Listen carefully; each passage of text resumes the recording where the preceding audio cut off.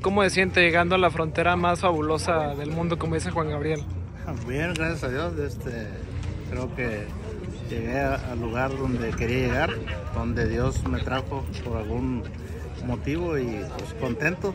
La gente me ha recibido muy bien y pues trabajando con los muchachos todos los días. Ya los vio, ya entrenó, tengo entendido que ya probaron incluso el campo.